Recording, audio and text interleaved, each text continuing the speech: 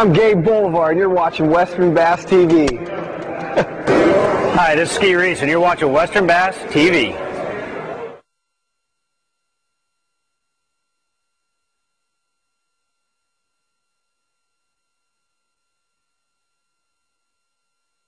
See if I can stretch the string.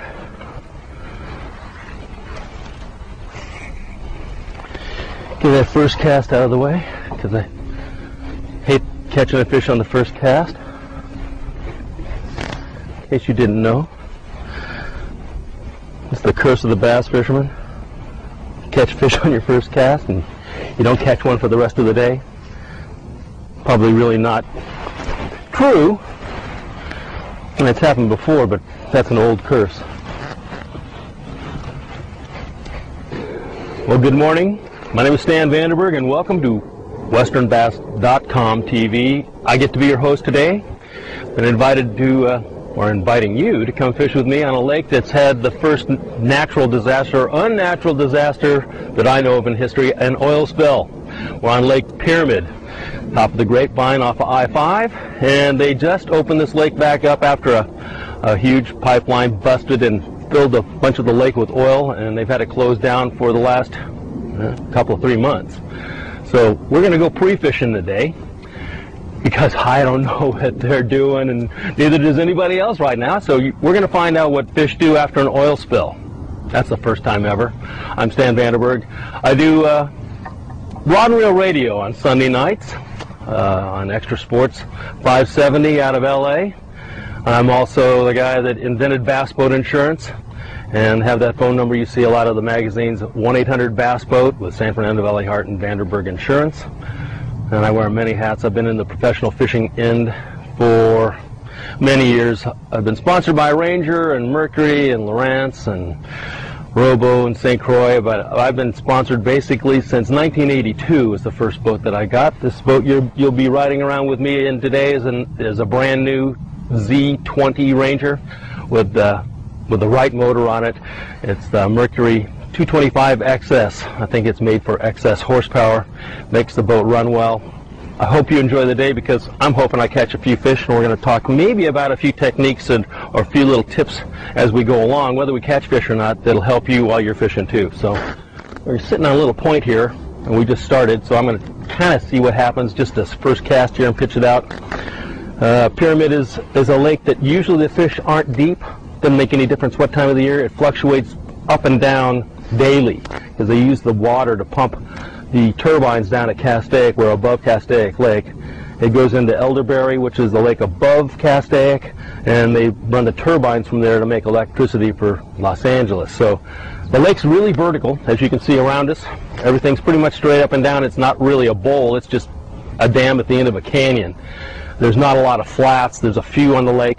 Most of it's vertical some points that stick out. Most of the stuff has got a lot of brush underneath it where you see where the uh, walls get covered with the brush and then the water goes down, it grows for a while and then it comes back up so you have these overhanging trees and it's under the water too. So drop shot fishing to start with we're just going to play around with. If you're drop shot fishing by the way, uh, things that come through the, the brush easier and rock easier, I use a, a small um, Mojo sinker because it's cylindrical and long and skinny and it comes through the rock a little better.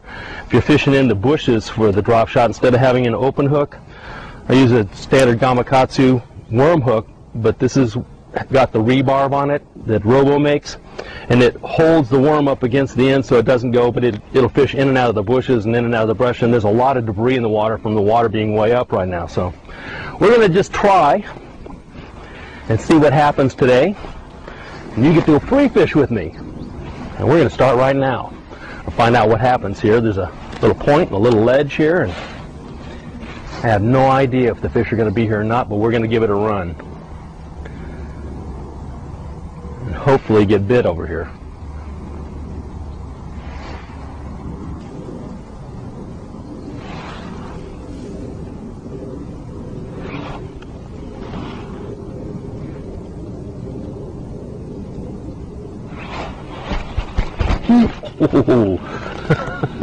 Uh, well, there was one there. Had part of the worm.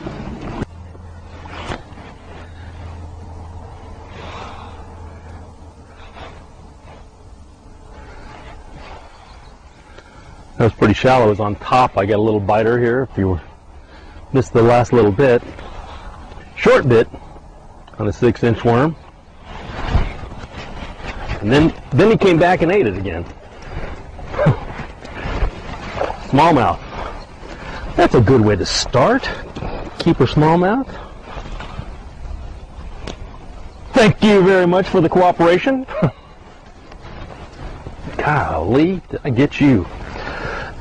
Typical of this lake, it's full of these smallmouth. Good ones, these are good legal fish, most of them, and they'll run up to, you know, the guys catch them three pounds in here not fairly regularly. Uh, it's probably one of the best smallmouth fisheries in Southern California other than Cachuma Lake. And uh, it's always fun because smallmouth are good fish and they like to cooperate for you. So that was a good first little stop. At least they're going to maybe be here today. We've heard that the fishing could be pretty good after that oil spill. And that was a good way to start it. Now if I can just get everything else in gear here, we're going to try to catch another one on this spot since that was a kind of a runaway. Fish are picking it up on, there's a top of a little ridge over here. And the fish seem to just kind of want to pick it up and run with it, which is a good sign. They don't you don't have to worry about, gee whiz, does he have it? Or did I get bit? They just pick it up and take off.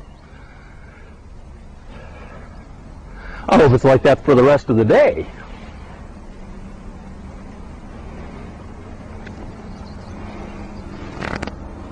Like I said before, the fishing usually is shallow on this lake, and it can be winter or summer alike.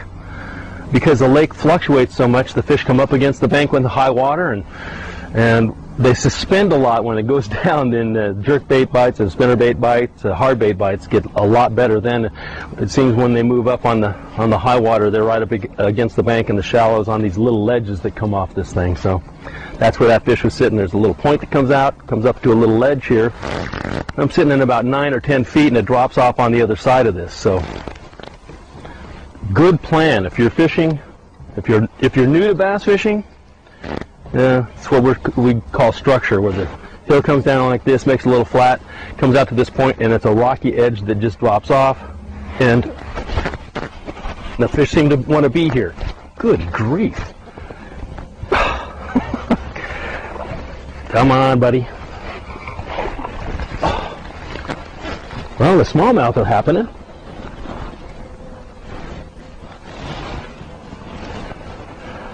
I might have to get the pliers to get this one out. You really like to eat that thing. Looks like that's what's going to happen.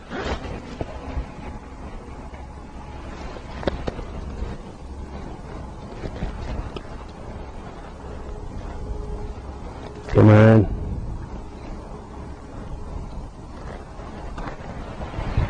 Oops. Get back in there. Well, at least we know they're being aggressive. I love these kind of days. Makes you look good. We'll probably go to a different spot a little later because the rock walls like this are typically smallmouth arenas. Uh, they're more fun and they're up on the top edges. That's a good thing. I mean, these fish are fairly shallow. That fish probably came out of less than 10 feet of water on the top of this little ridge here. I love it when a plan comes together.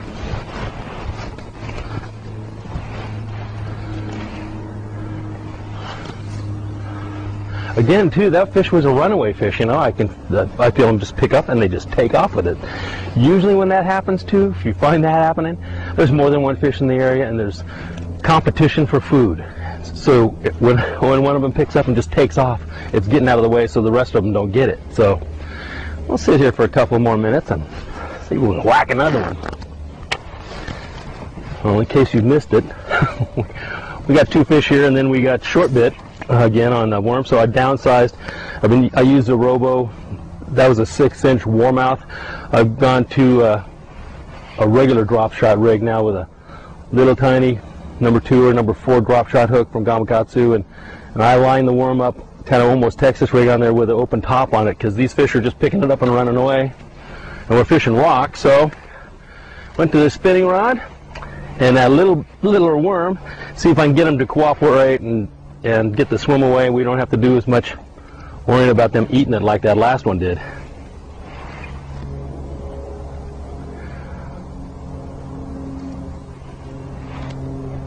That's pretty quick. yeah, baby. well,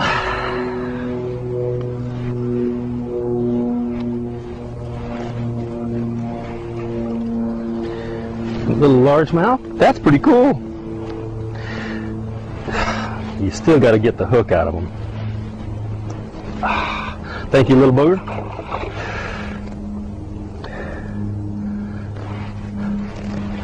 Don't you wish you were fishing with me?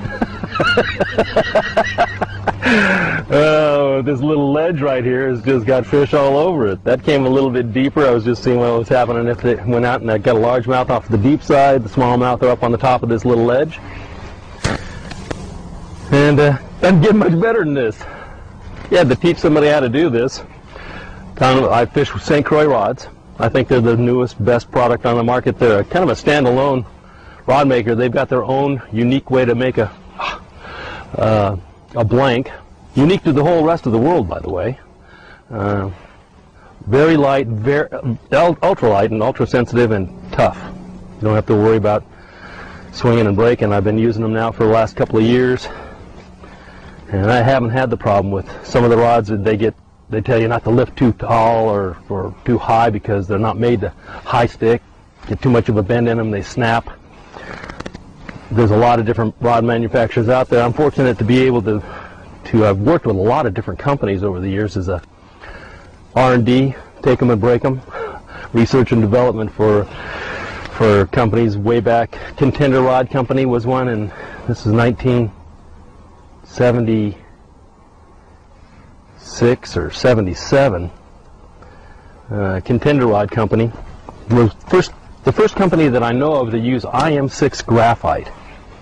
And they came up with the, the concept of, you know, this one thing. They had it for two years before anybody else used it. And we, we had uh, Al Jackson, who was the research guy there, guy that manufactured and made the rods. He was the brains behind it. Bob Scantlebury, the owner, great friends. Even still, we became best friends out of the whole scenario. But uh, Al Jackson was just incredibly smart. He worked for Lew's Speedstick for many years as their uh, R&D guy and made rods for them and then he took the technology and put it into the, the graphite world and then he went one step further and built the first graphite boron graphite and fiberglass rods.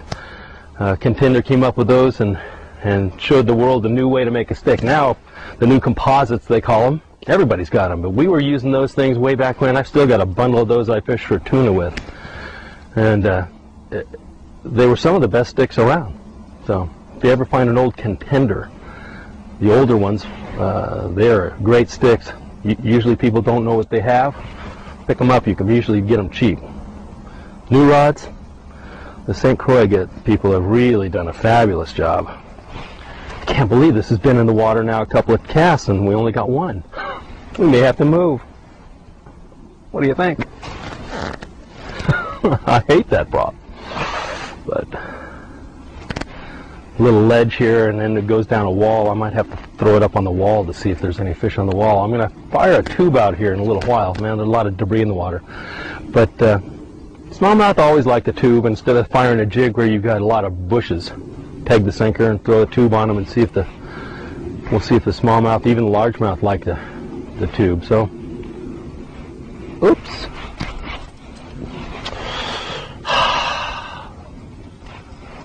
Little guy. you guys are really making me look good. Or lucky. All my friends out there will be going, yeah, you're lucky. But I've been telling people that anyhow for a long time. I'd rather be lucky than good anyhow. I've been lucky for a long time though. So a good thing about being in this industry, looks like we're going to get a new worm off of that one too. I was fishing the night tournament a while back and uh, I went down through the parking lot, and all the guys were saying, "Hi, Stan! Hi, Stan! Hi, Stan!" Because when you're around it for a long time, you know all the boys, and the brotherhood. We're all pretty close, actually. So it's a real friendly environment. Actually, it's the best environment. So as you're saying hi to all the guys, I got to the end of the row, and there's two younger kids down there, and you heard them. It was night, so I just I didn't see who they were. They said, "Who's that?" And the other kid goes, "Oh, that's Dan Vanderburg. He's an old guy." So I turned around and went, "How'd you like to go home to your mama and tell her you got beat up by an old guy?" But a little later on, I was just laughing. I went back and met him. And, and after that, I kind of thought, I mean, how lucky I am to have been in this industry since basically the mid 70s. The bass boat insurance policy I started in 1974 uh, through a company called Etna Cravens Dargan. A guy named Dave Warden was the head honcho there. And knew that I was riding boats for the bass fishing guys, which they all thought we were nuts because we all had these ex extremely fast boats, Monarchs and Terrys and flat bottom little tri-hulls that would go 45 miles an hour. And they thought that was stupid fast. And the worst part about it, to start the tournaments, they'd shoot a flare, and everybody's boat went 45 miles an hour. So if you had 18 or 20 boats all going the same direction at 45 miles an hour, the guy that did 46 was leading, and when he turned left or right to go into his spot, it was like bumper boats for a while, and everybody's turning off, trying to slow down. So they thought we were wild men, and they didn't want to do it. But Dave Warren goes, yeah, I'll let you do that. And so I came up with a program for just for bass fishing, mostly for my boat because back then, if you were traveling around and you were doing the tournaments and circuits wherever you were, you didn't have extra money, especially back then if you were going from circuit to circuit to circuit or tournament to tournament to tournament. You know, you might win three to five hundred bucks. It was enough to pay for the next tournament, and then you'd go to the next one. You didn't have extra money to pay for uh, a motor or a hull if you broke the hull. So I came up with an idea, mostly for me, so you guys benefit by my greed. If I broke my boat, I didn't want to have to pay depreciation, which on an insurance policy it's called actual cash value.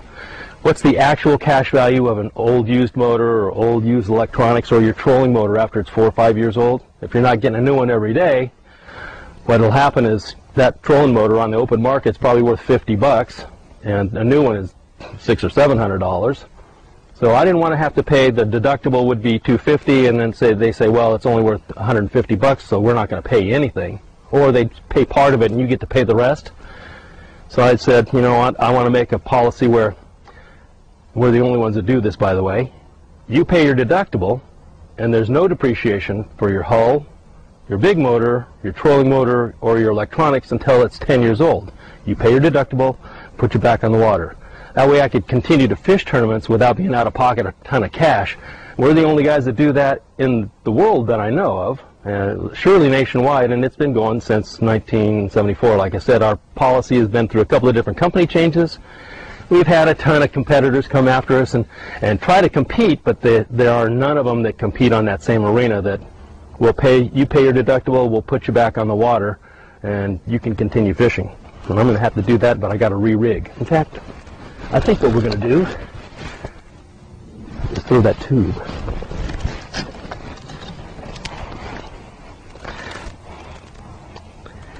On an offset hook. I'm not going to do much except for just set it in there and the hook will just skin hook the top. I peg the weight so it's not going to go anywhere.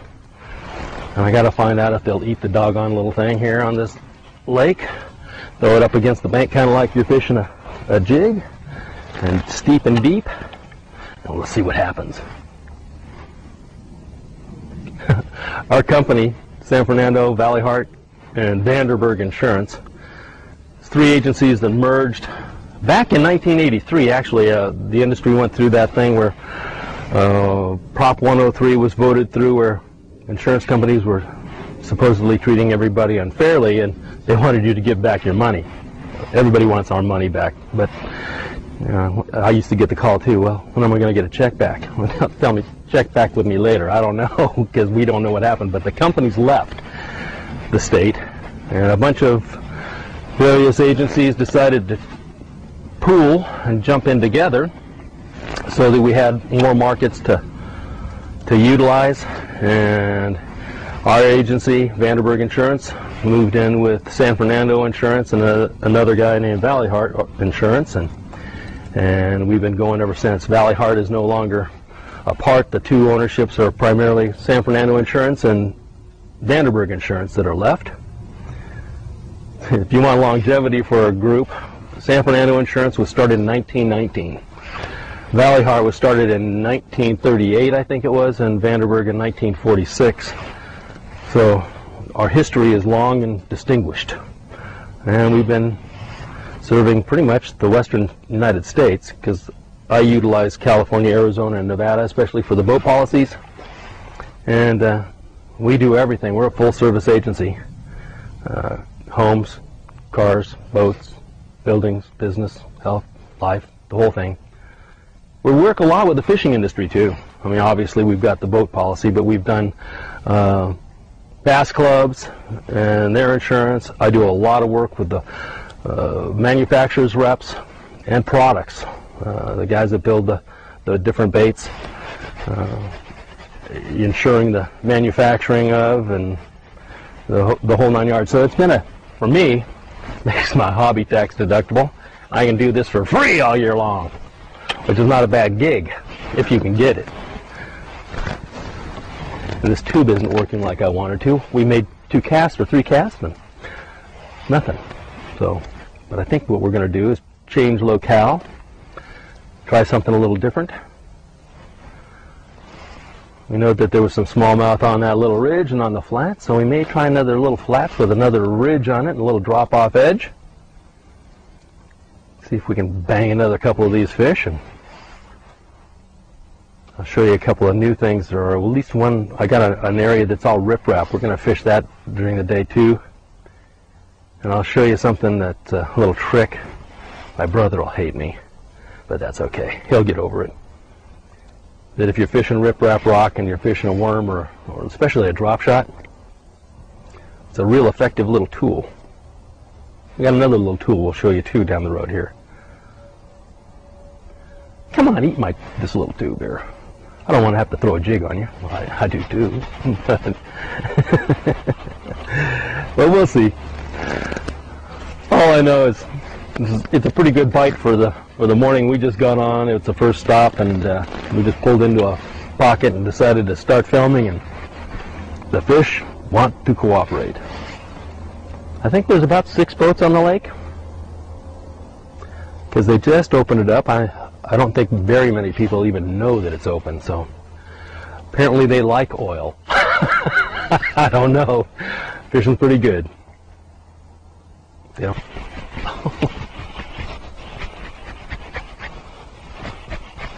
well, I got a tube fish. Can you believe this? Come here, buddy.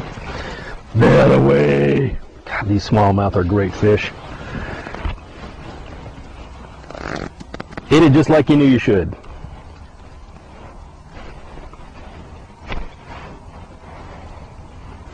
Come on out of there. G-lock hook. Can't get him out. Come on. Ah. Thank you, little smallmouth. Be a keeper for the tournament. I was fishing one. And after being here a whopping, what, half hour? If that? and have three keepers in the boat, I'd be pretty doggone tickled. Came off of a little ledge again, right on the top, top shallow water. I can't believe how shallow these fish are. I mean, I can. They're, they're like that all the time, but it's just fun when they cooperate and they're on these little rock edges. So, I'll just see if it'll happen again.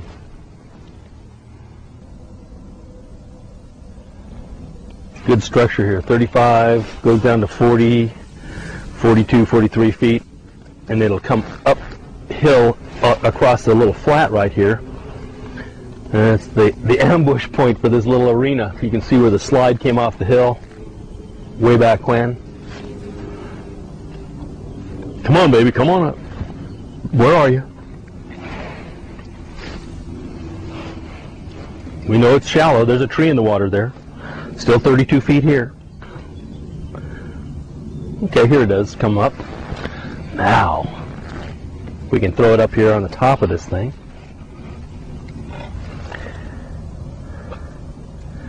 Comes out of deep water, across this little bank here, up this ridge and onto a, a flat, and these fish seem to be wanting to be on the top of the little flats in numbers, so we're just going to test drive this without throwing that little open hook into uh, the brush piles, because there's a lot of them in the water now, as high as it is. I don't know if it's, it might have been a six inch, maybe a foot higher than this at some point in time, but not much. A lot of water with all the rains that filled up all our Southern California lakes, and they are just harder than heck to fish right now. Fish have too many places to go to hide, and they're not uh, cooperating. it's pretty, pretty amazing, actually. What is it, May? And uh, a lot of the lakes haven't, we haven't seen the spawn on yet. Normally, you'd see spawns hit in February and March. Here it is, May. All this new water. Cachuma, for instance, got three feet more water on it than it's ever had in its life before. Spectacular. There's one um, little guy. Um, spectacular fishing though. When it get wants to get going, it's going to be really good. There were tules uh, that have been kind of out of the water and along the edges for last several years. And now when you go up, and those tules were probably 10 foot tall, maybe 12 in some areas, and that all of a sudden the other day we went over there and you're you're driving over the top of the tules and there's about four feet of water on top of the tules. Fish just don't know where to go yet. There's all this new places, all this new water. Fish looked a little ratty when you caught one because they'd I, I think because there's they're up in the shallows looking around and the the bait's not there yet. Crawdads aren't in that arena yet. It's just brand new to it, the area, so they're crawling through all the brush line and the forage isn't there. But in another month or so, it's just going to be crazy. The fish, there was a bunch of fish up on hard on the hardwood, um, where you could catch fish flipping if there was dead, not not the green stuff, but dead wood only. Uh, the bigger fish were there, or on the out, really outside rocky edges where the uh, the fish would move for staging. That was still working pretty doggone good. We were there for a tournament and fishing was tough. We ended up with uh, 13 and a half pounds in fourth or fifth place. And I was pretty tickled because I went up there pre-fishing that lake and had the helmet handed to me that day. Could not figure out what the fish wanted to do. So coming in with a fourth or fifth was pretty doggone good. It took uh, 16 pounds to win, and those guys, the, the top three guys actually were flipping. In this lake, you can do that Got stuff like that all over the place. Although, primarily this is not what I would call a flipping lake. Most guys will throw either a worm or hard baits, jerk baits, spinner baits, and uh, crankbaits. It's a really good reaction lake. We haven't tried that much yet because we're having too much fun with this and a lot of small fish so far. I'm happy. you may have you may be at work, but I'm happy. I'm waiting for one of those drag pullers though. On top of this little flat, and I think I'm going to turn around and throw out on it. It drops off on the edge out here. Put the goggles down. About eight feet where we're sitting in here. River channel cuts along just behind the boat, turns and goes back up the lake that direction shouldn't be, these fish are not deep. Uh, there's stripers, a lot of stripers in, in Pyramid. It's a really good striper fishery. It's really good for smallmouth. And the largemouth, there's a, the shad, because the aqueduct come in here is just stupid. I mean, it's plugged with, with bait fish.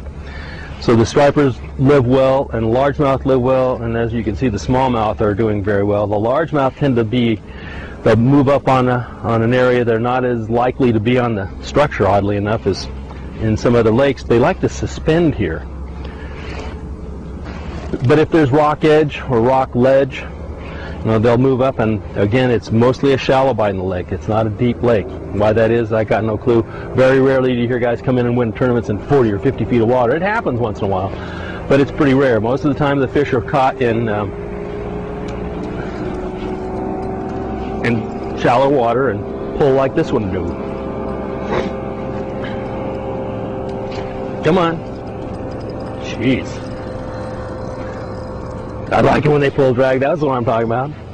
You ever see these guys on the on Bassmasters where they're going oh and they're pulling drag the wrong reel, or they haven't got their drag set up the right way, and uh, it's just, wee, look at the size of that catfish.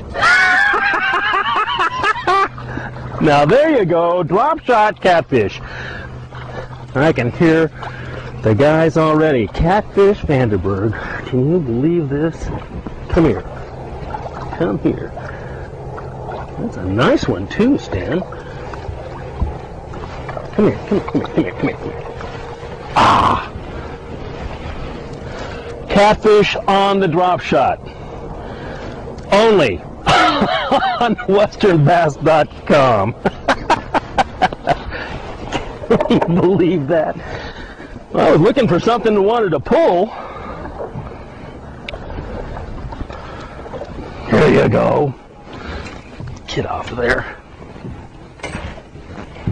See ya. Now that's a first. And you won't see that on many places. I got a chance to fish with Hank Parker. He got, if you watch that, that particular TV version, that's got some real scum on it too, Stan. Woo. He got a catfish on a swim bait. Now that's something. That takes talent to do that. Not everybody can do that. It's like catching a catfish on a drop shot. oh, gosh. Doesn't get any better than this. oh, look at that goop. Now that was a surprise. I don't think I've ever caught a catfish on a drop shot before. Caught them on a spoon, I've caught them on a crankbait. But that was a first and you got to see it here. Maybe it's a sign we should move. Drop that jig in on that tree. Come on, baby. Bang that thing.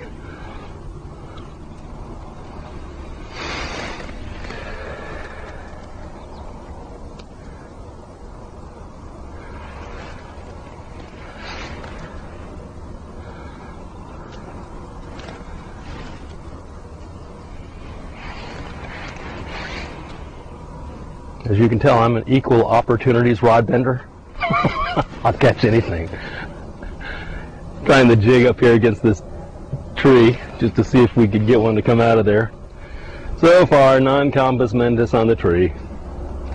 But that's not unusual. Yeah, stuff that looks like it's got fish on in this lake sometimes does and sometimes it doesn't.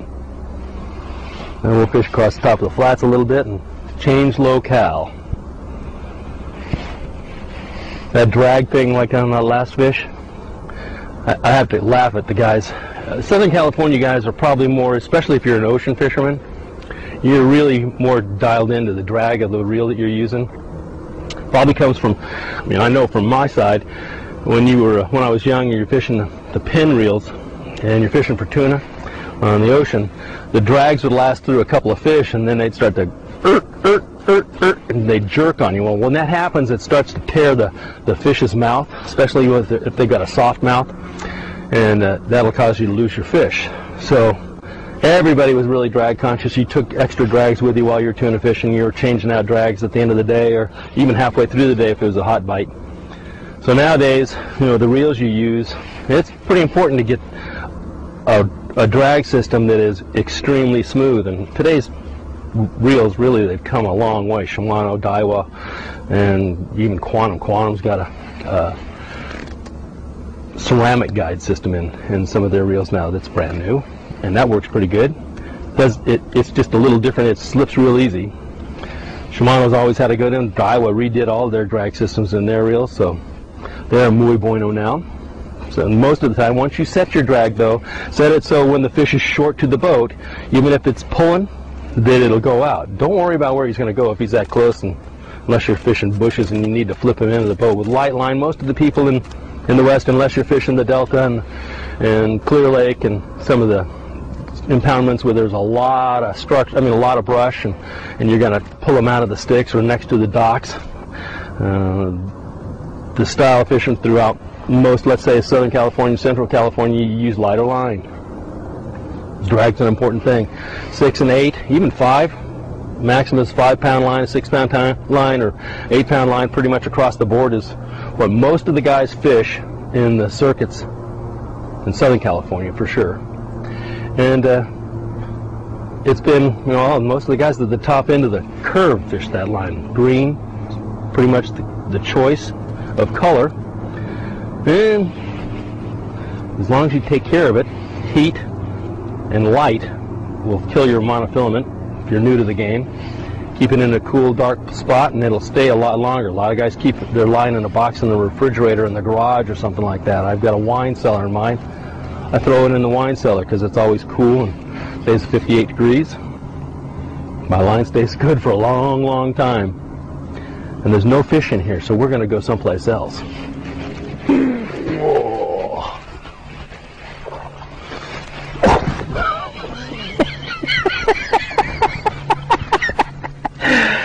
Love this sport.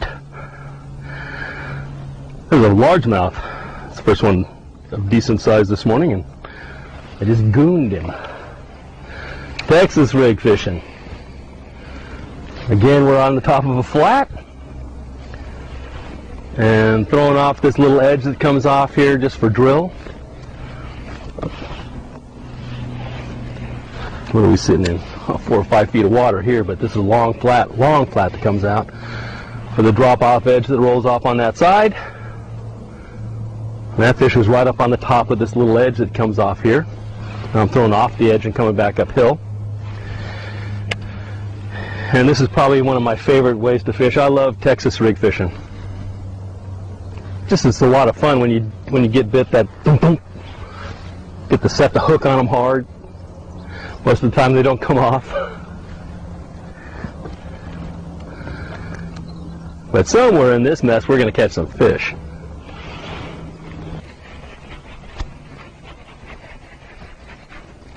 Ooh, there's a pull hard, little Texas fish. The old rock hopper came through. Thank you very much. Oh, you know, this is going to amaze you. This is going to absolutely amaze you. I am the king of species, I might add. On the Texas rig. I'm amazed, and you should be. nice trout on the Texas rig worm. you guys can't do all this. Don't try this at home. This is that little rock hopper I was just talking about. It's it's not the normal conical weight. It's just a straight up and down piece eh, with a hole in the middle of it, but it slides through the rocks. It'll just kind of twist its way through. And all fish love it. you gotta love that. I probably ought to say a little bit about our the bass boat insurance and what makes the difference between ours and the other ones. Mostly the other ones are more expensive for what you get. We start most of the time our quotes were with 300,000 liability, and it, that's pretty standard if you own a home or anything. We don't want you to lose it over a, uh, a marine claim because they're always big. If there's a big one, it's a big one, and uh, we can lose the big ones just like that. But um, 300,000 liability is usually what we quote, and it's the same as most other insurance companies that have 100,000 liability. We provide 300,000 of uninsured boaters, which is the most important thing. If you get hit by somebody that doesn't have insurance, we want to make sure you're covered. So that covers you for 300,000 and your passengers as you're going down the lakes or rivers. So we take care of that end too. Tackle wise, we provide $5,000 of personal property and tackle, and I think that's the highest in the industry.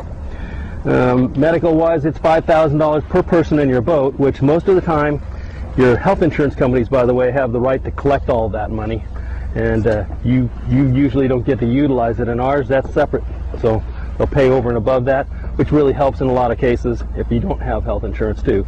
At least it's something to get you in and out of the hospital for the little things that can happen in a boat. Um, your deductibles are 250 across the board, so you don't have to pay more than that to get whatever you got fixed. The one thing we we didn't uh, want to carry a whole lot on was the uh, propellers have been a real thing over the years to keep our, our prices down and the rates down.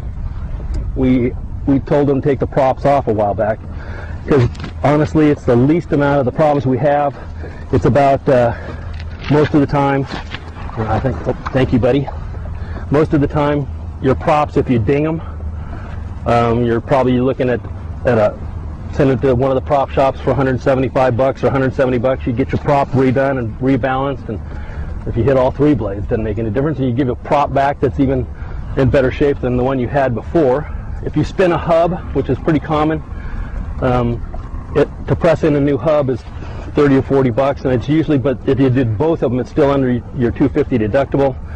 Uh, and most of the time, we just don't have a problem unless you lose your whole lower unit, and a lot of times that's just part of the deal when you get in, or most guys have more than one prop anyhow. So that became, some guys want to make that an issue, but it's the cheapest part of your boat nowadays. So to keep our prices down, we just left that alone, and, and it hasn't hurt anything, and that's for doggone sure. Our prices are, are good, or actually they're the best in the industry, I think, for especially on the prices for the new boats and used boats, and uh, you have to call for a quote if you don't if you can't click on the internet there and uh, on the banner on westernbass.com and and pick one up there because you can download one there.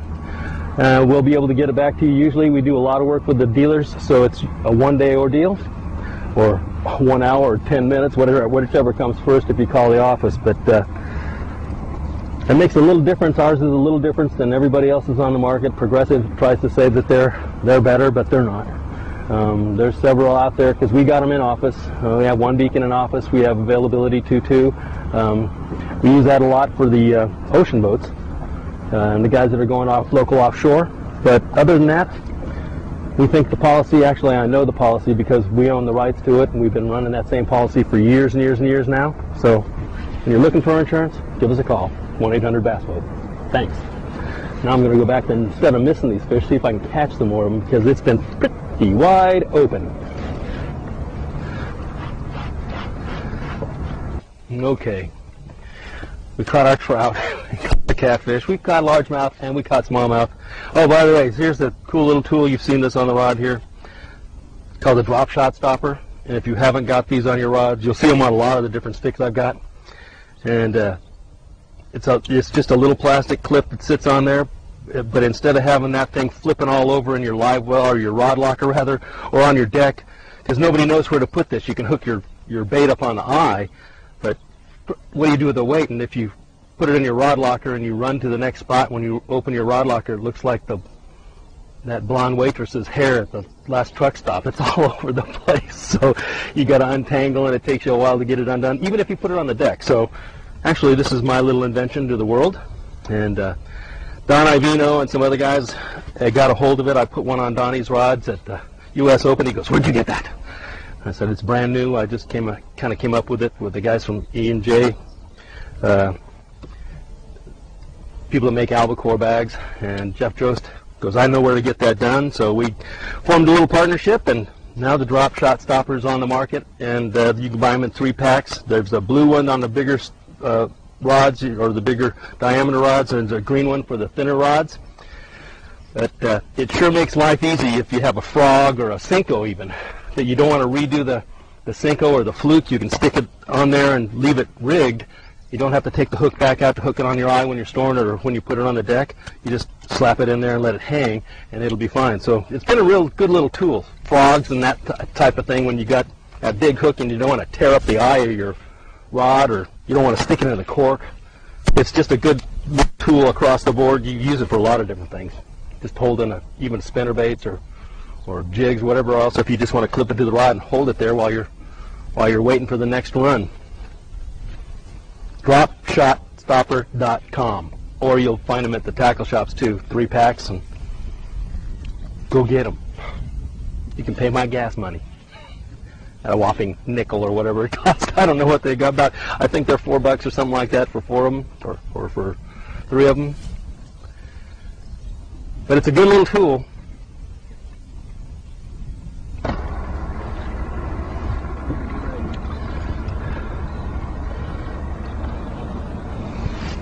See the Coast Guard's over here checking the, the rock piles. I'm going to teach you something new. If if you look down across this bank, that stuff is fisherman's worst nightmare. If you're, you, but you know fish are going to be on it because they're going to be picking crawdads off the rocks. But if you throw a weight in it, I mean that that straight up and down weight will get you out, but trying to get it through is tough. So I'll show you how to re-rig this. There's this stuff you can buy called sticky weight. Giving you all my little secrets of the trade here. It's a, a weight that's made out of, of tungsten and lead and other things, but it's it's a like a paste or a silly putty, kind of gray. Comes in these little canisters. But if you take your weight off, most of the drop shot weights have that little pinnacle there that you can get it in and out of. And you can either tie a knot in the end of your line just so it doesn't go anywhere.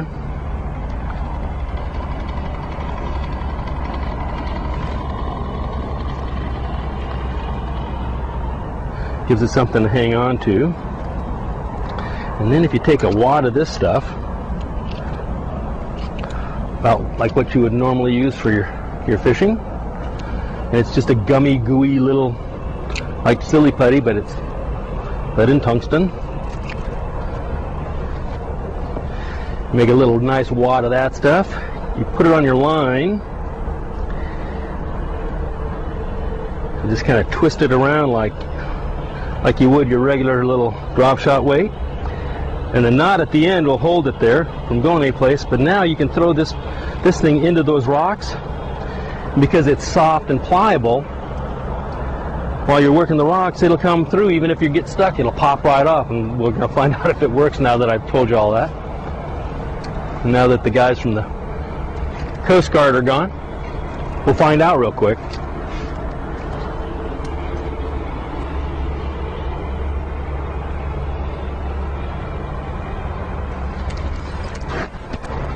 that was just a test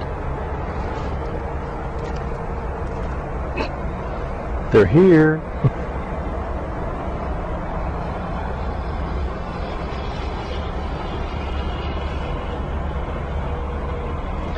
you can feel it almost sticks to the rocks down there too, but uh, you can pull it in and out of the rock and it doesn't get stuck like the other weights do. Oh. Nobody will get stuck in a bush with an open hook. Got that one back actually. So we'll try this again and see if we can ca actually catch one. But I don't know how much tape we got left on this thing today, but I'd like to thank you on behalf of Rod and Reel Radio every Sunday night at, at uh, I love this, Little Tiny Fish. Uh, it's on every Sunday night from 7 to 9 on XTRA Sports, 570 out of LA. You can pick it up on the internet, xtrasports.com and uh, my cohort, Big Tuna Bill Gieslin and and uh, the lady angler Wendy Tochihara are my co co-hosts on the radio show. And we pretty much cover everything on on uh, saltwater fishing or bay bass fishing or trout fishing in the Sierras, and we do the, the roundup on what's going on in the uh, the bass fishing end. And then, if you do need insurance, that number 800 Bass Boat they told me I couldn't have that, by the way, way back when when I got it, because they just didn't work like that. You you can't do a, a phone number where you got uh, something happening and spell a word, 800 Bass Boat. So they, I asked them if I could just get 1-800-227-7262. Is that available? And they said, yeah, we'll give you that. So I took it.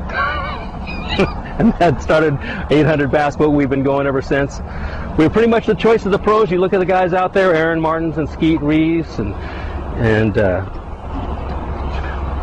I mean, pretty much all the guys in Byron Velvick and Mike uh, uh, Folkestad or Dave Gliebe. I mean, the list goes on. Mike Reynolds. Uh, there's just a ton of guys that uh, we have insured. Most of the pros, if you're not getting paid, they come to us. If you if you own a boat yourself and you're not getting a new one every year, like some of the guys do, then the big thing is you you've got to have a company one that sticks with you, And uh, we do. If you have claims, by the way, claims are just like your car. You got to think about it just the same way. If you have a couple of claims, I don't care who you're with, or your car insurance, you get bumped, or, or, or you have to go to a higher limit someplace else. We've got all of the different companies in office. One Beacon, which is one of our, the competitors use. We have Progressive in office, but the company we use through ACE does a better job and better coverage across the board for our anglers because I invented it for me. I already know, and I don't want to have to second guess if the company's going to take care of me if I have a major claim where there's a lot of, li- a lot of liability involved, if they're going to stay with me or, or defend me at the end. But this company will, a lot of them will pay the bill and then leave. So I'm pretty confident that the company we've got is the right one. And they've been taking care of the guys on the pro circuits and the, just the private boaters alike for years and years and years. And I've been like this thing's been going since 1974. So since I'm the guy that invented the, the boat, the bass boat insurance policy in the first place, uh, many have tried and many have gone the way of the buffalo, but we're still here. So if you got a, a new boat or an old boat and you want a quote, you can give us a call at 1-800 Bass Boat is 1-800-227-7262. San Fernando Valley Heart Insurance and, and Vanderburg Insurance, and we'll go from there. And I got another stick. There's a lot of that stuff in the water here. A uh, little one. Oh, that's a keeper.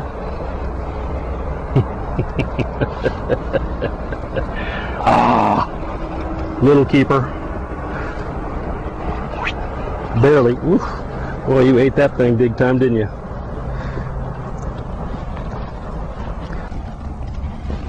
Ishula. Come on. Oops. Okay, I don't want to pull you on and break you off.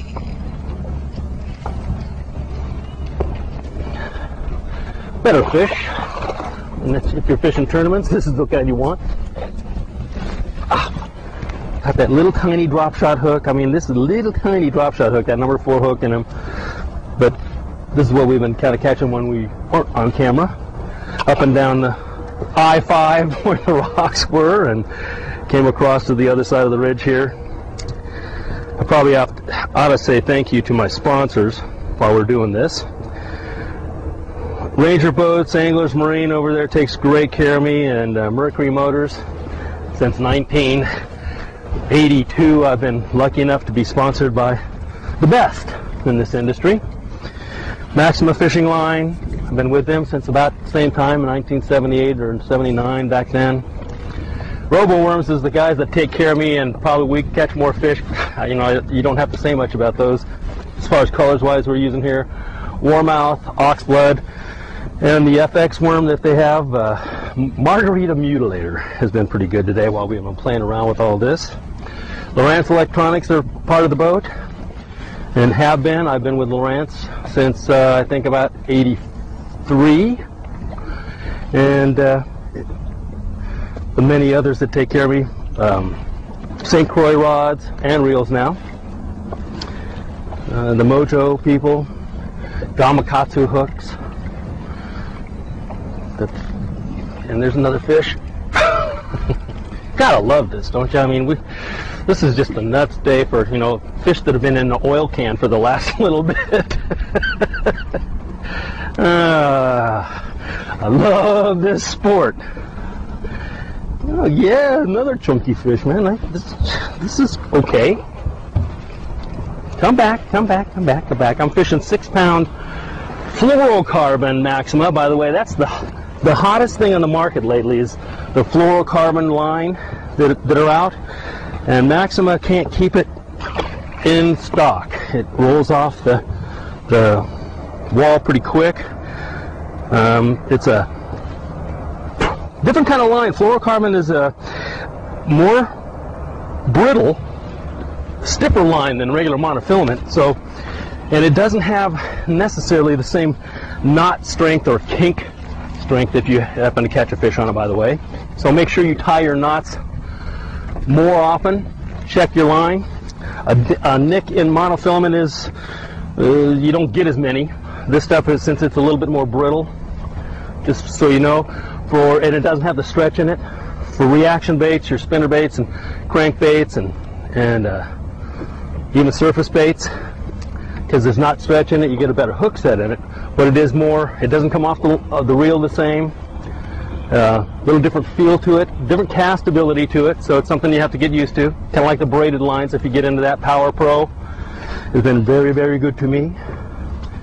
And uh, of course, 800 Bass Boat, the business, San Fernando Valley Heart and Vanderburg Insurance, and Rod and Reel Radio again. There's another fish. You gotta love this. Little tiny guy. but but at least they're eating for us today, I'll tell you. They are not shy. Still using the standard drop shot rig because they just wanted it. We, we caught fish on a few other things, but I'll tell you, all in all, it's been a lot of fun. And I know I got to run for the day, but I'd like to thank you ah, for being a part of, uh, or letting me share with you, actually, a part of my life that has made a lot of difference in my life for sure because I've been able to follow my dream and my passion for a long time, and hopefully I'll get a, long more, a lot more time to do it. But uh, thanks to westernbass.com and uh, Tony for taking the time to come all the way down here from up north and spend a few time, a few hours out here on the pond. And I know he's got to run too, but but thanks for showing up and thanks for being a part. And good luck fishing. My best wishes to you for big fishes. We'll catch you later.